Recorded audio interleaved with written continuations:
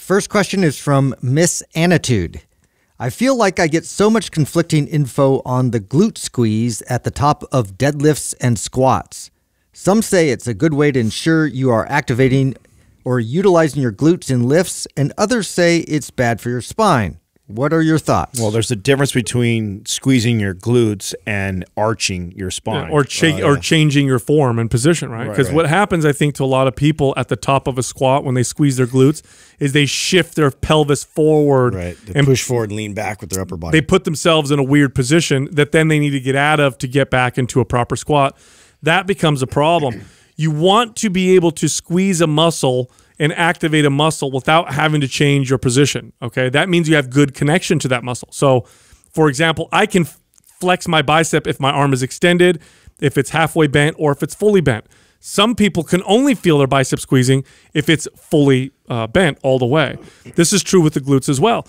If you have trouble squeezing your glutes at the top of a squat without shifting your hips forward, then I recommend you don't squeeze your glutes at the top and instead focus on priming your squats with a exercise that allows you to squeeze the glutes like a hip thrust. So like doing a hip thrust before you do squats gives you that ability to squeeze and connect to the glutes.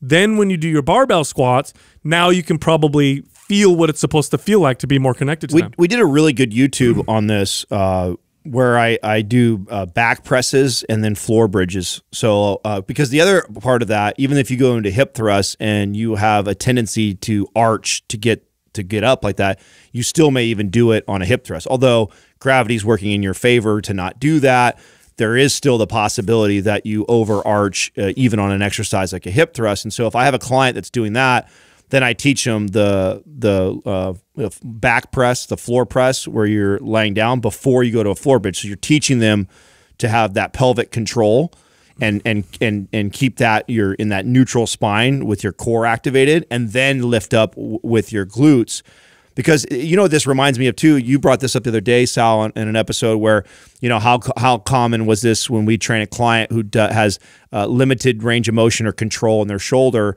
and you tell them to do a shoulder press and and you tell them to reach all the way up and at the top they they go they go up on their toes mm -hmm. this is a, a, similar issue right? It's, right. it's, only it's in the hips and the butt like yeah. you you hear cue from a trainer saying squeeze the glutes really hard and when you do that you want to arch the back to get more of a squeeze mm -hmm. like the, the idea is that you do squeeze the glutes, but you still also maintain a good neutral spine at the same time.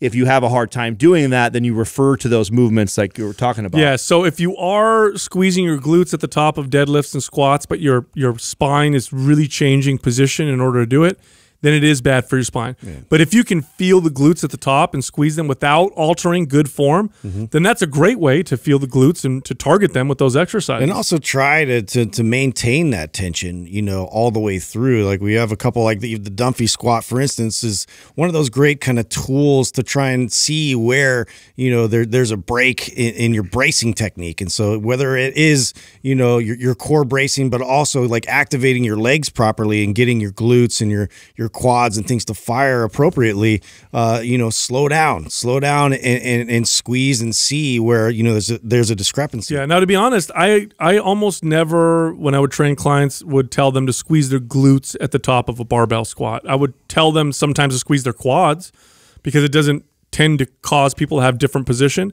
If somebody didn't feel their glutes on a squat, uh, my remedy was typically good priming or change the exercise form itself you know, at the top of a squat when you're standing, the glutes are relatively less active than they would be when you're down at the half point or at the bottom of a squat. Mm. At the top, you don't really need your glutes don't have to fire hard to hold the weight up. Now, as opposed to like a, a hip thrust, a hip thrust to hold your position at the top of the hip thrust, you have to really squeeze the glutes. It's really what's holding you up there.